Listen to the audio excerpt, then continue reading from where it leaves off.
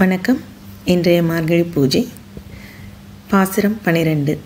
கனைத்திறங் கற்றெருமை கன்றுக்கிறங்கி நினைத்து முளைவெளியே நின்று பால் சோர நனைத்திள்ளம் சேராக்கும் நற்செல்வன் தங்காய் பனித்தலை வீழ்நின் வாசல் கடைப்பற்றி சினத்தினால் தென்னிலங்கை கோமானை செற்ற மனத்துக்கு இனியானை பாடவும் நீ வாய் திறவாய். இனித்தான் எழுந்திராய்.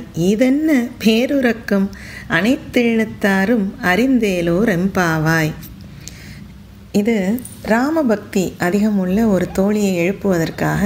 சரி நம்ம கிருஷ்ணரை பற்றி சொல்கிறத விட ராமரை பற்றி சொல்லிட்டா அவள் சீக்கிரம் எந்திரிப்பாளோ அப்படிங்கிற ஒரு ஆசையில் ராமரை பற்றி ஆண்டாள் சொல்கிறது சினத்தினான் தென்னிலங்கை கோமானை அப்படின்னு கோபமே வராத ராமருக்கு ரொம்ப சில இடங்களில் மட்டும் ராமாயணத்தில் கோபம் வந்தது.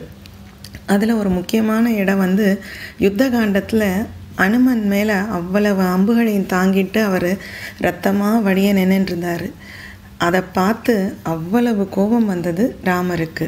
மற்றபடி அவர் இமோஷ்னலி ரொம்ப பேலன்ஸ்டான ஒருத்தர்.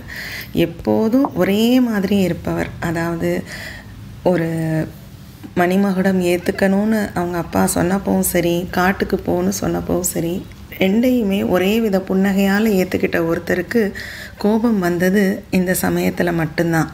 அதனால் சினத்தினால் தென்னிலங்கை கோமானை அப்படின்னு ஆண்டாள் வர்ணிக்கிறான் அதை டெபிக் பண்ணுற மாதிரி ராமர் அனுமர் சீதா லக்ஷ்மணன் உள்ள பொம்மைகளை வச்சுருக்கோம்.